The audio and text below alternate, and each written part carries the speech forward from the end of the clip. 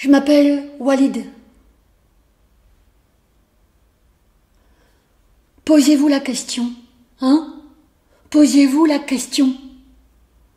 Pourquoi ces gens-là risquent leur vie pour venir jusqu'en Europe? Ils risquent leur vie. Ils sont dans un petit, comment dire, même pas un petit bateau. On n'appelle pas ça un bateau. Même pas Zodiac. C'est un truc de petit pêcheur là. Et tu vois 300 personnes qui sont là, l'un sur l'autre, avec leurs fils et leurs filles. Pourquoi faire tout ça? Pourquoi font-ils ça? Ah, pour les beaux yeux de l'Europe?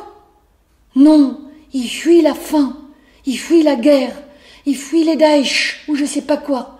Les islamistes qui ont, je sais pas ce qu'ils ont dans la tête là,